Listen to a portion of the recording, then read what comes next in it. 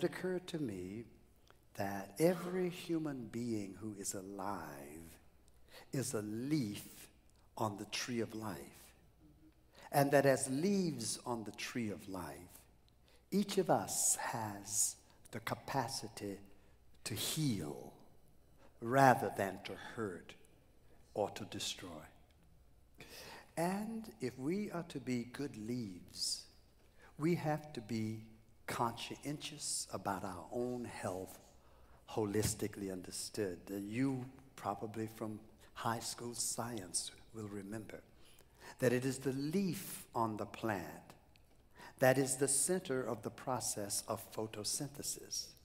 And that photosynthesis is characterized by the process of drawing water and minerals out of the ground, and then drawing carbon dioxide from the air, and with chlorophyll in the plant, and the energy of the sun driving the chemical process, the leaf produces the food for the plant, sends it back down to the stem all the way to the root. The fascinating thing about it is that in producing for itself, the byproduct of photosynthesis is the production of oxygen, which is a healing agent. Which then means that if you and I are leaves on the tree of life, it becomes our responsibility to be conscious, first of all, and conscientious about our own health, holistically understood. It means that for each of us in here, to be conscientious about our health means taking good care of our bodies, our minds, our relationships, our vocation, our relationship in the community, our economic productivity, and our embeddedness in the environment that is the climate within which we find our lives. All of these areas, we want to make sure we are optimizing capacities in these areas. But then to be a healer is to then exude, to give off the healing oxygen for wherever we are, that it will be well. Problem by this sermon. And by the way, I've learned to preach a sermon outline. I don't know exactly what time you were all close, but I suspect this is about closing time already. but, but, but, so I don't, I don't think I have to give a long sermon today. You see, the, the nation at this particular point in our history is very sick. In fact, I tried to understand what is the most serious epidemic in the nation today. when I got started listing what the big problems are we all are concerned about, I, I found myself writing down a list of, of, of 12 things. I won't mention them all, but you know what's on my list. It's the same list as yours. We got problem with racism, sexism, homophobia, economic disparity, we got climate issues, we've got incarceration, we got immigration, we've got health care, we got education. You, you, you, we all have about the same list. In fact, I discovered that for anyone who's working on any one of those problems, really seriously, and you really want to make a change, you are likely in the United States of America today, when you measure the effectiveness of your work, you are likely to be discouraged. In fact, what I figured is people are discouraged largely because they, when they work, tend to focus on the particular problem they're concerned about. But there is a word called syndrome which speaks of multiple elements contributing as symptoms in regards to a particular disease that's characterized, which means if you look at just one piece, if you're just interested in race, and you're not interested in gender issues or, or, orientation issues or economic issues or climate issues or, or, or national security, if you're interested in one of them, you, you, you're going to miss it. But so I saw, you know, the biggest problem in America is what I call the dirty dozen syndrome.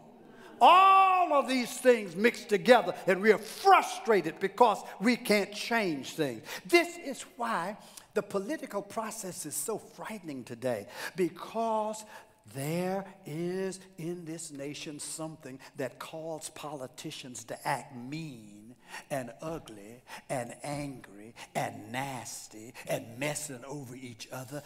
And everybody's dissatisfied with everybody else. But so, so, so the Lord said, dirty dozen syndrome doesn't find. So the Lord gave me a better title the serious epidemic. And, i and I'm all ready to give you the sermon outline, almost ready. The, the, the serious problem in the, today, which I'm going to ask you to repeat and see if it sounds right in your head. You know, well, the best way to explain this one is my daddy uh, once told a story and you can tell us a story because he said the devil once had a going out of business sale. You know that's a sale. devil ain't never going out of business. You know what I mean? He said, and all of the items on the shelf sold quickly. But one item could not be sold. The price was too high. So they asked the devil, why you put such a high price tag on this one? And the devil says, listen, all of these others like lying and cheating and backbiting and carrying on, uh, they sold quickly. They have done great work for me. But this one is one of the most powerful instruments I've got. I had to put a high price on it. Well, what is it? He says, This is it. This instrument is the one instrument that I can use to get people to do most anything I want them to do. Well, what is it, devil? And the devil says, This one is the wedge of discouragement. But I can stick that wedge of discouragement in and push it before you know it. I've just about got that person in my hand. Well, let me tell you, you and I live in a nation where the wedge of discouragement has been pressed into hearts all over, rich and poor, and black and white, gay and straight, Christian, Muslim, Jew, Sikh. There is a wave of discouragement across the land. And I suspect, I call it DDS, degenerative discouragement syndrome. You all repeat that? Degenerative discouragement syndrome. And I think maybe the reason the Lord is making me give this message is because I think there is something in it that addresses that condition. And basically, that's the introduction. Here are the basic points, and then I'll I'll, I'll, I'll, I'll be recognizing we got stuff to do, including get ready for the games this afternoon. I'm going there. It's about Joseph. Joseph represents a symbol of the most successful and possibly satisfied and powerful and influential person in his time. He had become the governor, really, under Pharaoh. He had everything anybody normally would want. And yet, in this text, something begins to happen to him, which I think will address our need to overcome DDS, the degenerative discouragement syndrome.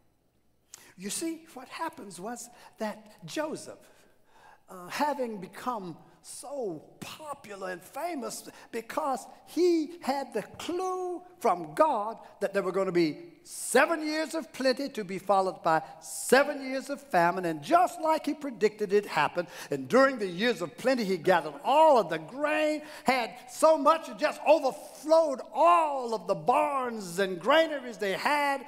And then the famine set in. And when the famine set in, all of a sudden, he was encountering a moment that proved to him he hadn't had everything. Or he may have had all the money he needed, he may have all the power he could wish for, but there was something still lacking in his life. It was when his brothers from the land of Canaan came down to Egypt to get grain because the famine was intense. It was during this time that he had, I've been searching for how do you, he had a moment when he came clear about what his life was all about, the why of it. It was a moment when he not only came clear, but it was a moment the Spirit pushed him to come clean.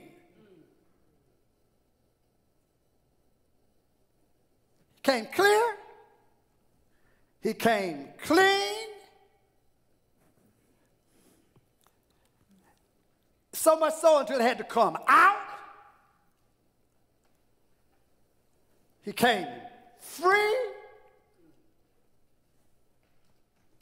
And he came focused and empowered. Now, let me see if I can get on.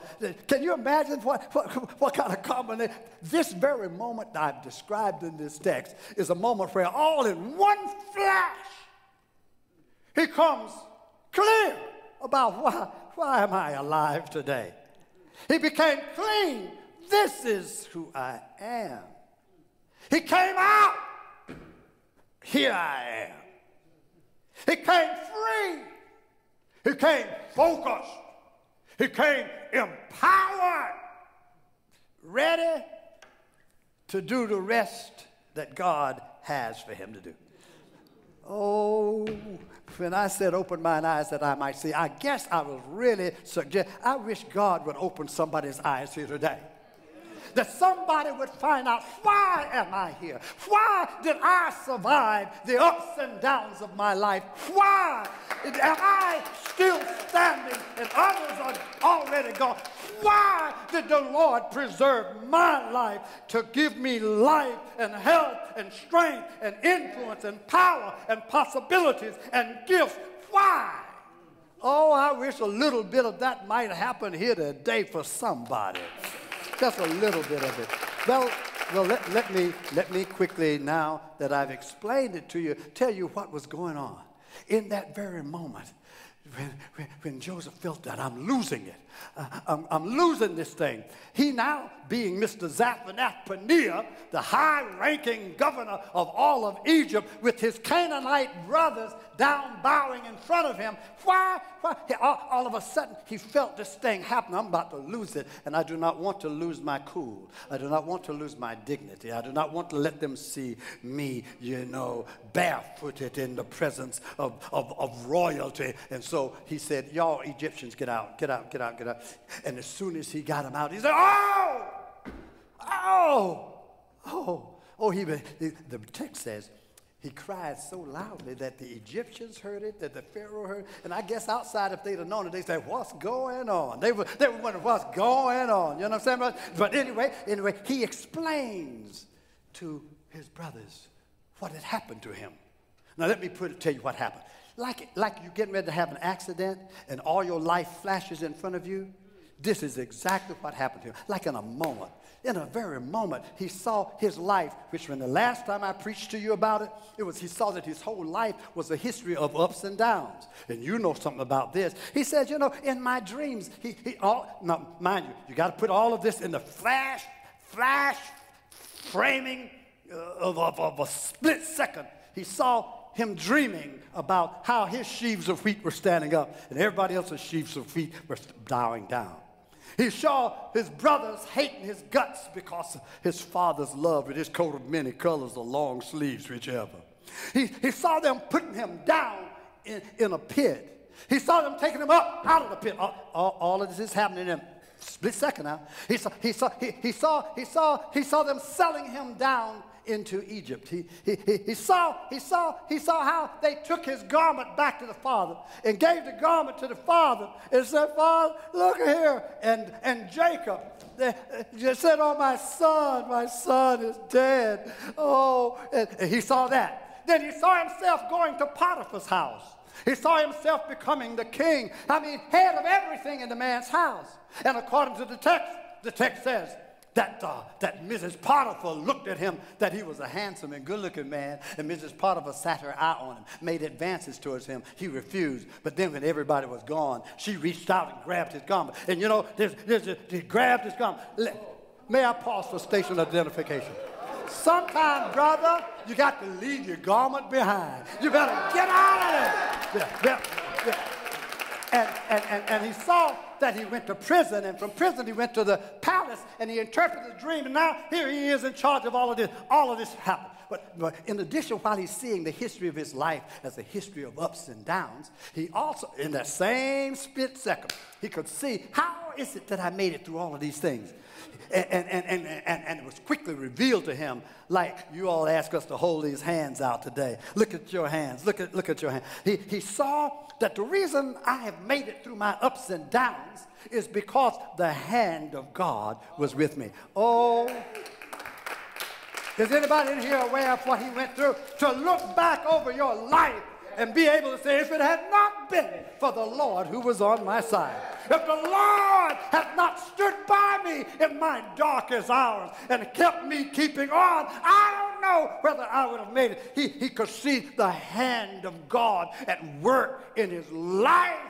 So much so until it finally, oh, oh, oh, oh. I now know the why and the what for of my life. He, he said, These dudes bow here before me. These are my brothers. They, they the ones that sold me into slavery. That's why I've been messing with them. That's why I put their money back in the sack. That's why I held them in prison for three days. That's why I accused them of. I, I didn't like that. But, but, but now, now, that I see how the hand of God was using me, I now know. And he said, Well, I might as well tell them. So he, he just came out.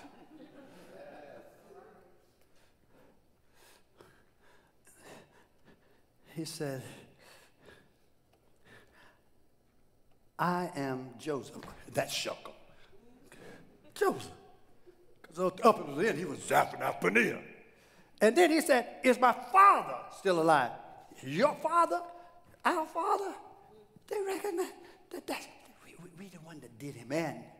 We the one that this, we tried to kill him, really. We, and so they were dismayed. But he said, Look, don't, don't be dismayed. And I'm about through with my sermon, y'all. So don't, don't, it's, not, it's, it's, it's almost over.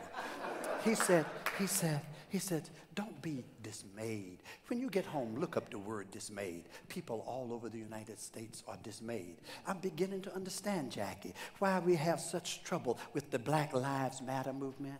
You understand this? They, they were dismayed. When you get, when you get caught, I mean, finally it's beginning to be revealed in terms of police community relationship, what's been going on all the time. We just didn't have the cell phone to catch it. Uh, it and now it's been revealed how concussion revealed how NFL takes lives and don't care what happens. We've learned from the big short how the banks messed over everybody. The cover are coming off and we discover how exploitative this nation has been against a whole lot of folks, not just black folks, Latino folks, but poor white folks and other middle class folks. Everybody been messing over. They were so dismayed they could hardly say anything. That's why we're in so much denial. Folks can't acknowledge this stuff. I mean, stuff has been happening so nasty, so mean, so long that they can, only way they can live is to deny it. And what we do to the president, oh, ain't got nothing to do with race. We just don't like government. Oh, no, come on, y'all. Don't tell me these lies. Let me tell you the truth. Th these brothers were so dismayed, they could hardly say anything. And he said, listen, don't, don't be dismayed. Just chill. Let me explain to you. Then I'm through. Let me explain to you what happened. He says, God has revealed to me. You sold me, but God sent me. I love that. you sold me, but God sent me. I'm here for a purpose. And now I know what the purpose is. Oh, as I share what he said, I hope God will begin to let some of you know why you are still here. Why you have the money, the influence, the power, the, the gifts, the talents, the, the, the, the opportunities you have. Yeah, yeah. Let me tell you what he said, and then I should be through first. He says, God sent me here to preserve life. Let everybody say, to preserve life. To preserve life. That is to say that every member of this species, God made us, and there is within every heart, unless it's had a great fall, the need to preserve the life of people, of, of all life, as you can. In other words, God would be pleased if everyone could say, I'm a lifesaver. Let everybody say, I'm a lifesaver. That's what God wants. How many people are alive today because of what you've done? Or how many will be alive because what you're getting ready to do? How many people's lives can you save by the use of your influence and by the use of your power? You're to be a lifesaver. But not only that, he said, God told me not only to save lives in general. The reason I'm saving lives in general is because all lives matter. Let everybody say, all lives matter. All lives matter. But I have a special task. I brought you here to preserve for these guys that are in front of you, to preserve a remnant. So you got to preserve the life and culture of your own people. Uh huh. You are not just to save life in general, you're supposed to be here to preserve a remnant for the survivors of your own. So I want to say a word to white people here. Can I talk to white people? I know this is an integrated church, but I want to talk to white. White people, don't let anybody make you upset with being white no more. The double negatives are intentional. If you are white, you ought to be proud of it. Let me tell you one thing white people taught us. Ta white people taught us affirmative action.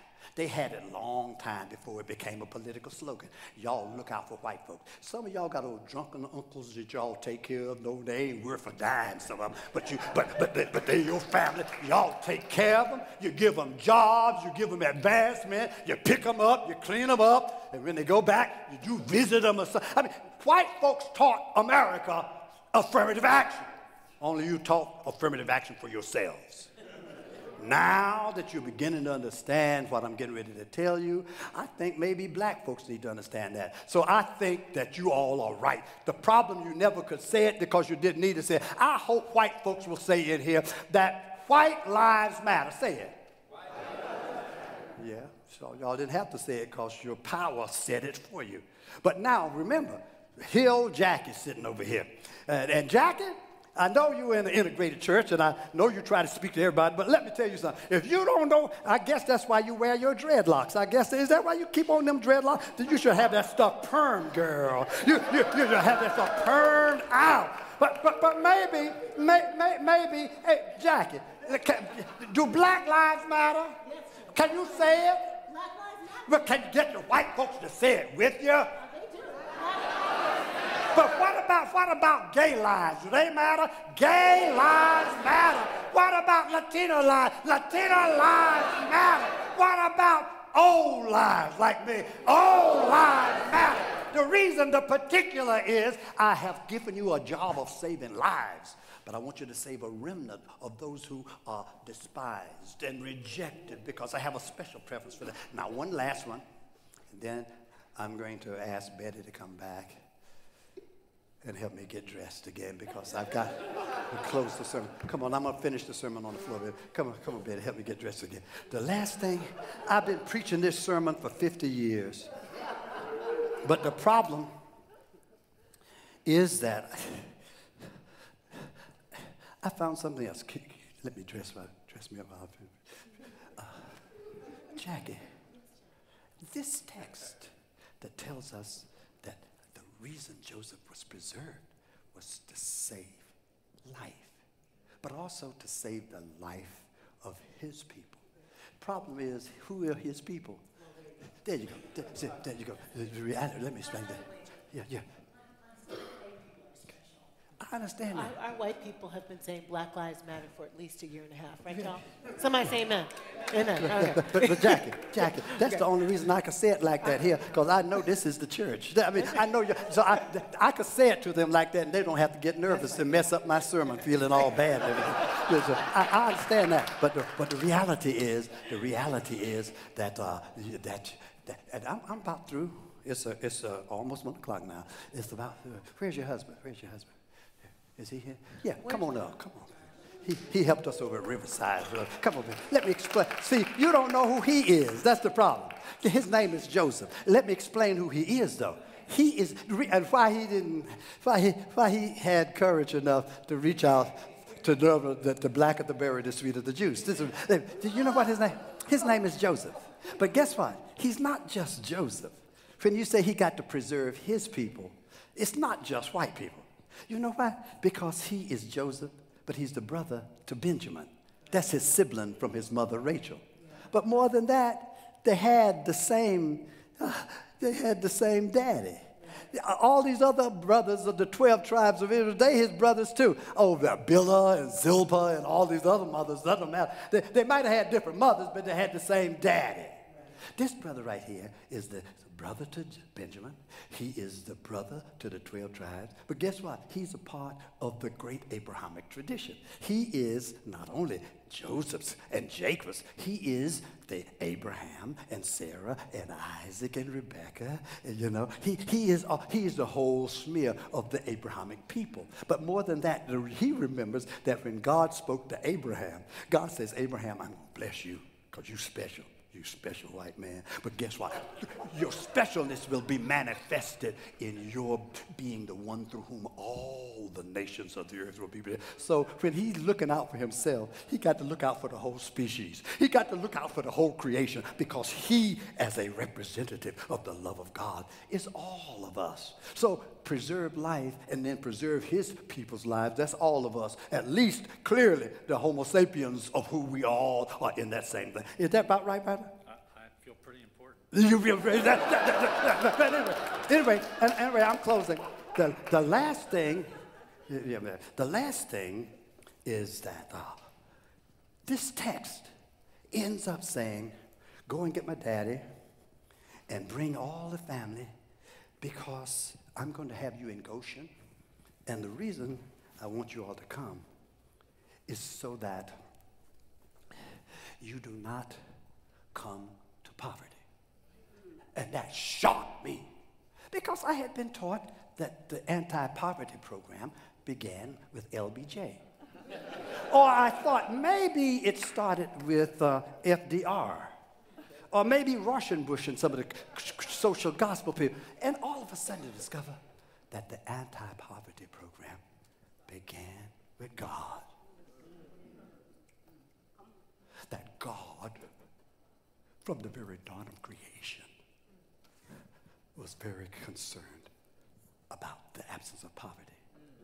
But let me explain this, and then I come back to another piece. You give me another one. Okay. Explain this that for God, from a God's eye perspective, and I've checked with God about this, that, that, that, that for God, poverty is not measured by some kind of index that they have down in Washington.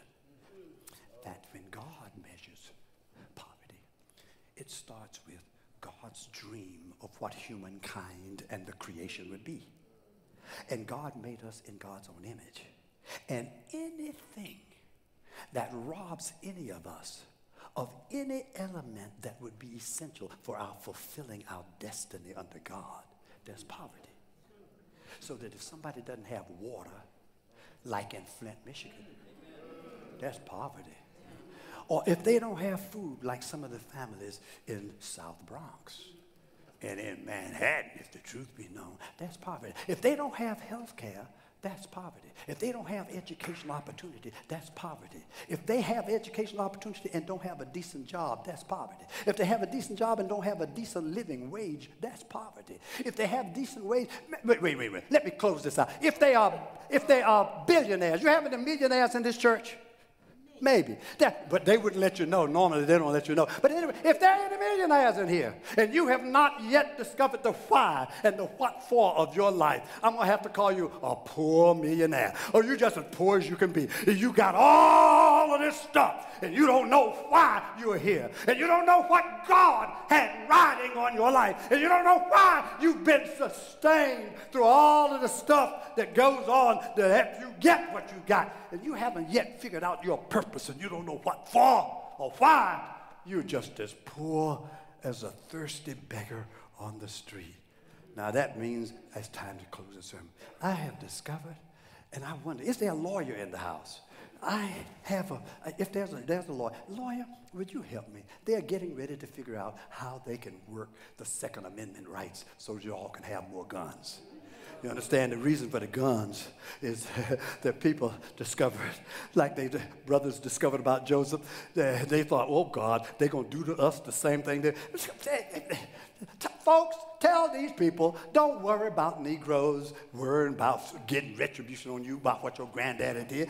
We, we were deprived. We were impoverished for justice, impoverished for dignity, impoverished for self-respect. And we, we ain't got time to be looking around for no revenge. We, we don't have time to be looking for y'all. We ain't coming after y'all. And, and we, we, we, we, we too busy seeking justice and peace for, for a well-being to fulfill our destiny under God. Anyway, anyway, um, if the lawyers could help me get a little peace, I would like to say, can you, I don't want to get an amendment, but could you put a, an addendum to the preamble about life, liberty, and the pursuit of happiness, which cannot be achieved under conditions of poverty? Could, could, could, could, could, could I just stick that in there? Could, could I just stick that so that it becomes un-American?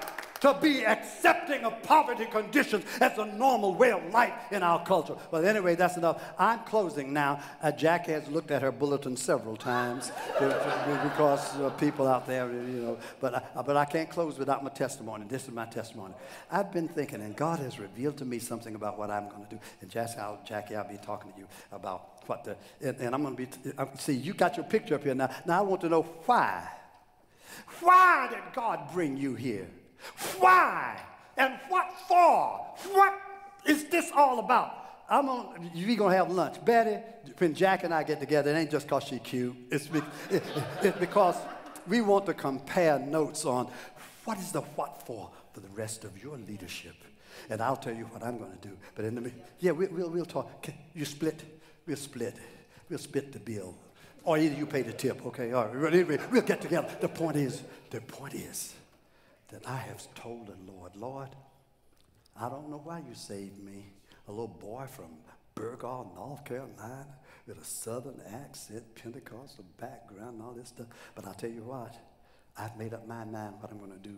I'm 80 years old now, and I'm beginning to work on my next 80 years. I might not make it but one year, two years, three years, but, but I've decided this is what I'm going to do, and this is how I close. I said, Lord, you've been so good that I'm going to praise you in the way I'm going to do it, in the way that I walk, in the way that I talk, in the way that I think, and in the way that I pray. In everything I do, I want to honor you by the way I live each day. So I guess I'll ask you to stand and do that with me. If you're getting some inkling of the why and what for of your life, go repeat after me in the way that I walk, in the way that I talk, in the way that I think, and in the way that I pray, in everything I do, I want to honor you by the way I live each day. But for the young man, you have to do it like this in the way that I walk, in the way that I talk, in the way that I think, and in the way that I pray. In everything I do, I want to honor you by the way I live each day. Come on, come on.